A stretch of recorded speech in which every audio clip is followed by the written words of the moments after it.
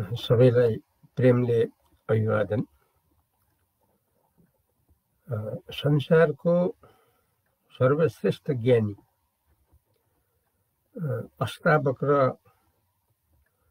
को विषयमा उहाँको जन्मकालदेखि बाल्य अवस्थाको विषयमा अहिले प्रस्तुत गर्ने प्रयास हुनेछ संसारका श्रेष्ठ महापुरुषको प्रारम्भिक जीवन अर्थात् जीवनी जान्नुबाट संसारका हामी सबैलाई धेरै प्रकारको ज्यादै ठुलो कुरा मिल्न जाने हुन्छ यही सन्दर्भमा नेपालको मिथिला प्रदेशमा यो त्रेता युगको कुरा हो एकजना प्रसिद्ध पण्डितज्यूको घरमा उहाँले बिहानमा बिहान बिहानमा पाठ गर्नुहुन्थ्यो ठुलो स्वरबाट नुहाइधुवाइ आदि गरेर अनि पाठ गरिरहेको बेलामा एउटा आवाज आयो। त्यो आवाजमा के थियो भने यहाँनिर तपाईँले गल्ती गर्नुभयो शुद्ध भएन भन्ने आवाज आयो। अनि उहाँले यो कहाँबाट आयो आवाज भनेर चारैतिर हेर्नुभयो। आँखा चारैतिर लगाउनु भयो कहीँ देख्नु भएन। कोही देख्नु भएन। त्यहाँ नजिकमा त आफ्नो श्रीमती धर्मपत्नी मात्रै त्यहाँ हुनुहुन्थ्यो। अरू त कोही पनि थिएन। यो आवाज कहाँबाट आयो भनेर उहाँले भित्री ध्यान दिएर उहाँले चाहिने त्यसको खोजपट्टि लाग्नुभयो। र उहाँले के भेटाउनु भयो भने मेरो श्रीमती गर्भमा छिन्। अब नौ दस नौ दस महिनाको चाहिँ नि भइराखेको छ अन्तिम अवस्थामा छ। निश्चय पनि त्यो गर्भमा रहेको बच्चाले भनेको हुनुपर्छ। किनभने यहाँ वरपर त अरू कोही मानिसै छैन। मेरो धर्मपत्नी बाहेक अरू यहाँ कोही पनि छैन। तर मैले स्पष्टसँग सुने।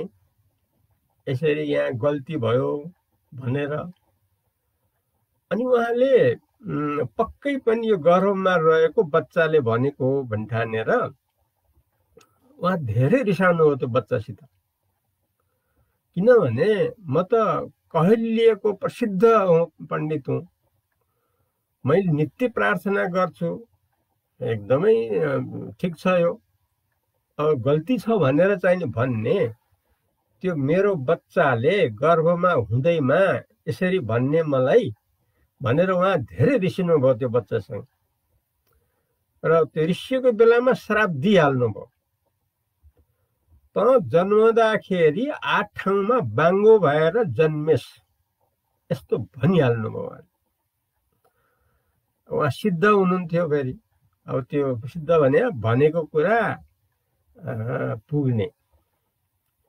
श्राप दिए पनि पुग्ने आशीर्वाद दिए पनि पुग्ने त्यस्तो सिद्धि उहाँको थियो हैसियत र गाउँमा सबैले प्रसिद्ध पण्डित भनेर चाहिँ कहलाउनु भएको थियो अनि नभन्दै आफ्नो श्रीमतीबाट जब बच्चा पैदा भयो त बच्चा त बच्चा पाउने आमाले सुनाउनु भयो बच्चा त एकदमै टेढो मेढो छ एकदमै भनेर चाहिने त्यसरी चाहिने भन्नुभयो र उहाँले बुझ्नुभयो त्यो मेरै श्रापले हो भन्ने उहाँले चाहिँ नि पिताले जान्नुभयो।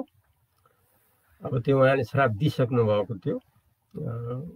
अनि यही क्रमबाट दिन अगाडि बित्दै गरे र पछि एक बखतको समय हो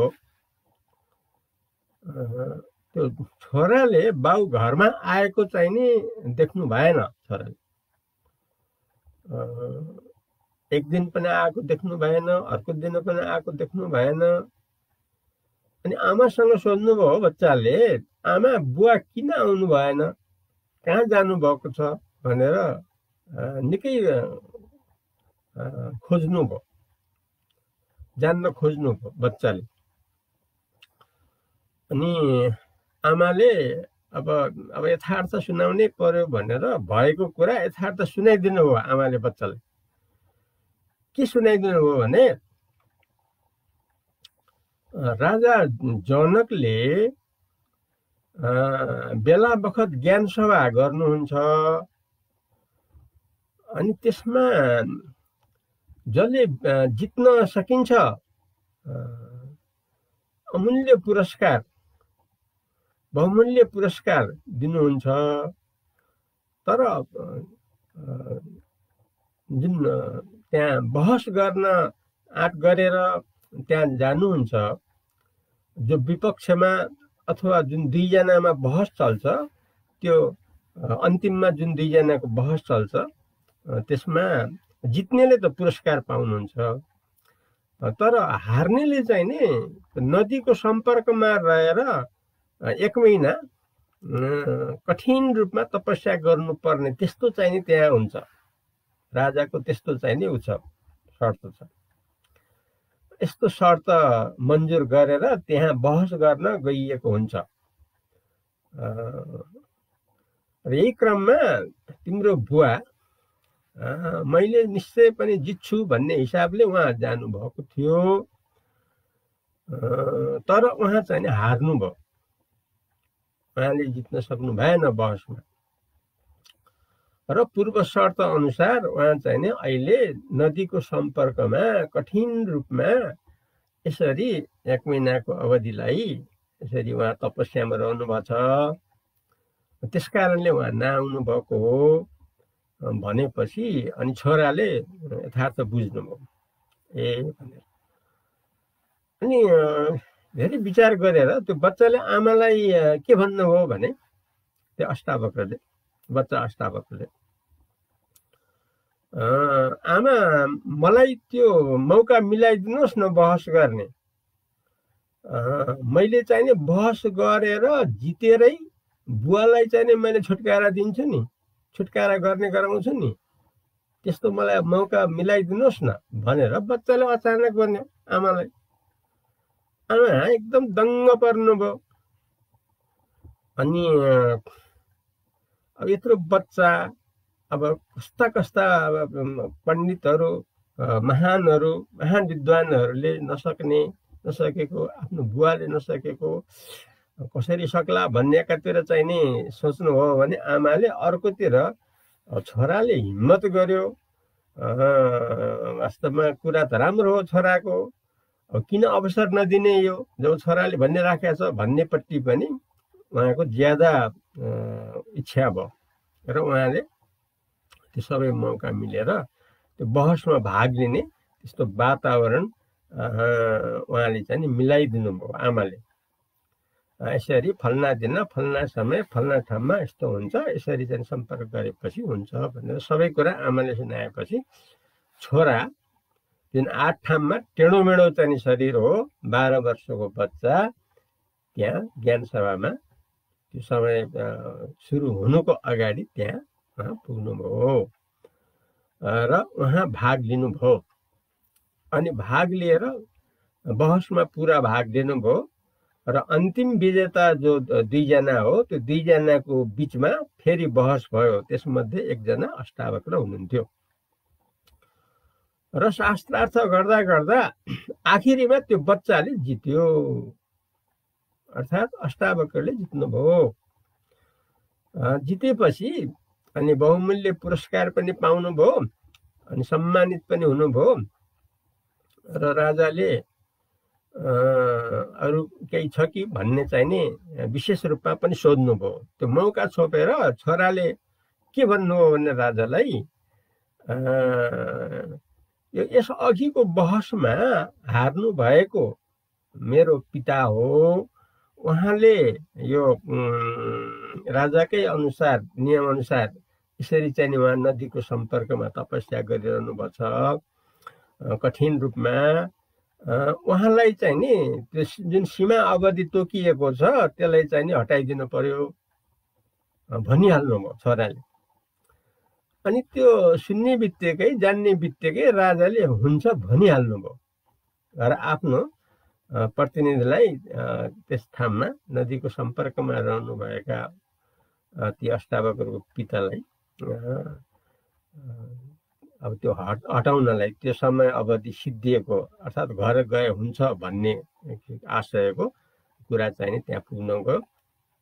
र बुवा चाहिँ आफ्नो घरमा फर्कनु भयो छोरा पनि आफ्नो त्यहाँ आफ्नो बहसहरू सिद्धिएपछि बहुमूल्य पुरस्कार लिएर आफ्नो घरमा छोरा पनि जानुभयो।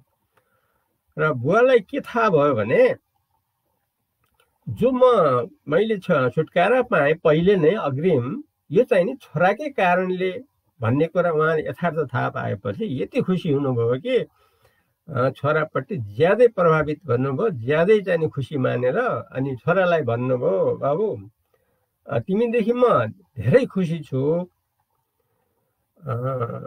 अब हिँड त्यहाँ नजिक त्यहाँ नदी छ त्यहाँ जाम हिँड। भनेर भन्नुभयो। अब छोराले बाउले भनेको कुरा अनि पुरा बुवाले अब जे भन्नुहुन्छ मेरो हितैमा भन्नुहुन्छ भन्ने सोचेर अनि जानुभयो। नदीमा पुगेपछि बुवाले भन्नुभयो बाउ यहाँ चाहिने पानीमा डुब तिमी। पुरै शरीर डुब। भन्नुभयो पिताको आज्ञा सिरोकर भनेर चाहिँ नि उहाँले चाहिँ नि डुबिहाल्नुभयो। अनि डुबेर फेरि निक्लाउनु भन्नुभयो त्यो फेरि डुबेर निक्लाउनु भयो निक्लेर बाहिर आउँदाखेरि त त्यो जुन आठवटा टेढो मेढो भएको शरीर थियो त्यो त सबै साबुत भयो। सबै आफ्नो आफ्नो ठाउँमा एकदमै एकदमै राम्रो एकदमै शरीर सबै अङ्ग चाहिँ नि सिधा जो अरू सामान्य मानिसहरूको हुन्छ त्यस्तै र अति आकर्षक रूपमा त्यस्तो चाहिँ नि उहाँ देखिनुभयो।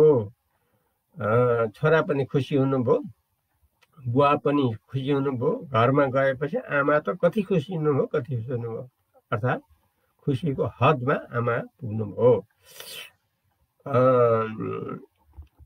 यो प्रसङ्ग हो प्रकाण्ड ज्ञानी अष्टावक्रको गर्भदेखिको बाल्य अवस्थाको कुरा। अब उहाँ हुनुहुन्छ जीवन मुक्त र विदेह राजाको साक्षात गुरु प्रथम गुरु। राजर्षि जनकको ज्ञानी दुईटा गुरु। पहिले याज्ञवल्क याज्ञवल्कबाट मुक्तिका सारा कुरा प्राय उहाँले सुनिसक्नु भएको थियो तर उहाँलाई साक्षात्कारको अनुभव हुन सकेका थिएन राजालाई। र उहाँले त्यो साक्षात्कार हुनलाई त्यो आशयले एकदमै बहसमा सर्वप्रथम हुनुभएको र विश्वमा कहलिएको बाह्र वर्षको उमेरको। प्रकाण्ड ज्ञानी अष्टावक्रलाई प्रथम गुरु मानिहाल्नुभयो जसको कारणले उहाँ राजा जनक यसलाई शिरध्वज अनि भनिन्छ। अनि उहाँ जीवनभित्रै जीवनमुक्त र देहमुक्त हुन सम्भव भयो। जुन संसारमा प्रसिद्ध हुनुहुन्छ। जसरी अष्टावक्र प्रकाण्ड ज्ञानीमा विश्वमा प्रसिद्ध हुनुहुन्छ त्यस्तै शिष्य राजर्षि जनक पनि संसारमा अत्यन्त प्रसिद्ध हुनुहुन्छ। अब यो थियो प्रकाण्ड ज्ञानी अष्टावक्रको विषयमा प्रारम्भिक परिचय। अब राजर्षि जनकले कसरी त्यो ज्ञान सिक्नुभयो कसरी पाउनुभयो के पाउनुभयो कसरी यसरी उहाँ सफल हुन सक्नुभयो भन्ने प्रसङ्गमा हामी भोलि यस विषयमा वर्णन गर्नेछौँ। त्यति बेलासम्मको लागि जय पशुपतिनाथ।